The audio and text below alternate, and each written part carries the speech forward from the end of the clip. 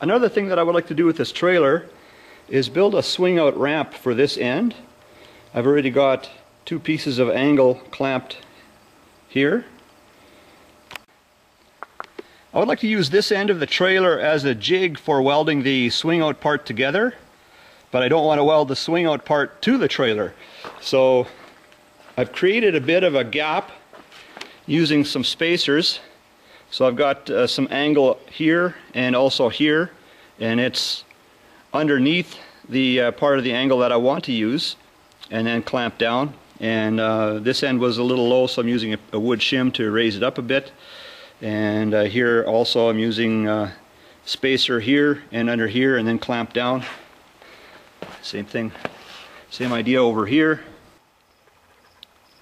So the spacers underneath create a bit of a gap and hopefully that gap is going to be enough to help prevent welding the swing out part to the trailer itself. I'm getting ready to weld the top part. So somewhere in this area I burnt through with the welder and then I fixed it with the welder but I'm thinking if it's going to stick to the uh, trailer frame it'll probably be in this area here somewhere. So that corner is already welded as well.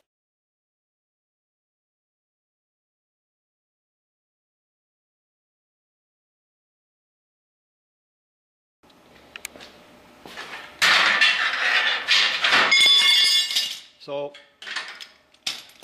I don't know yet if this thing is going to stick to the trailer.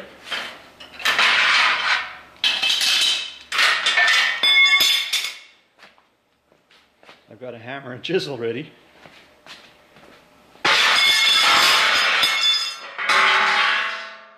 Apparently not.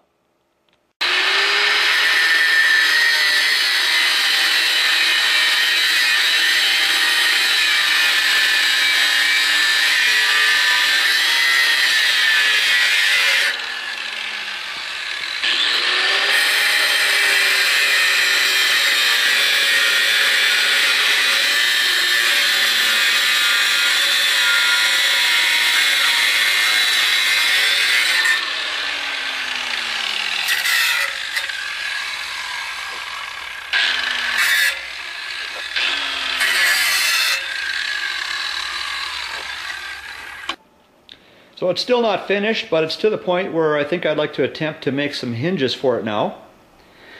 And so I uh, spent a bit of time trying to uh, even out the frame from one side to the other, and it turns out that side the leaf spring is sagged out or something. So I've got it shimmed right now, and it's pretty close now from side to side. And I thought that was kind of important to try and get this fairly even and uh, this distance now from side to side is very close close enough that I think it's okay to uh, try and make the hinges now. This is what I want to use to make the hinges. So I have enough here to make two hinges and I think I'll put one more hinge in but uh, this is all the material I have right now. It's just DOM tubing and a bolt fits through it nicely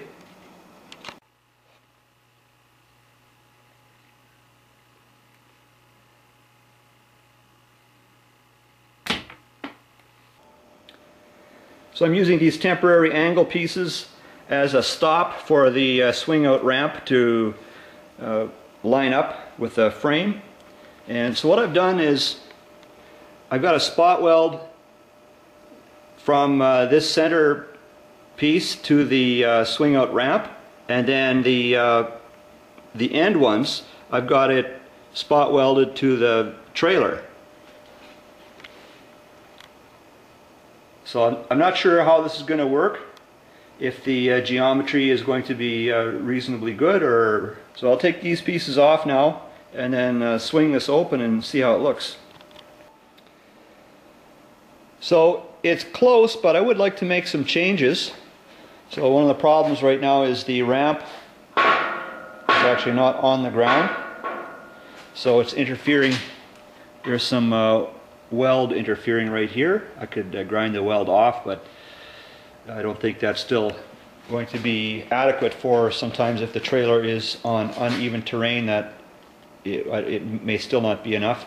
See this side as well. Bit of weld contacting right there. So and I, I think I would also like to move the hinges inwards a ways because where the hinge is now it may just be interfering with what I want to load onto the trailer.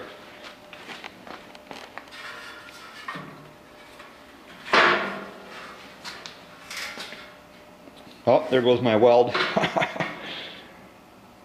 so much for my spot weld. That comes off right there.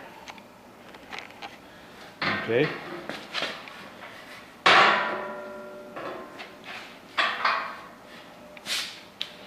Okay, so it's getting late, guys. It's Starting to get dark outside.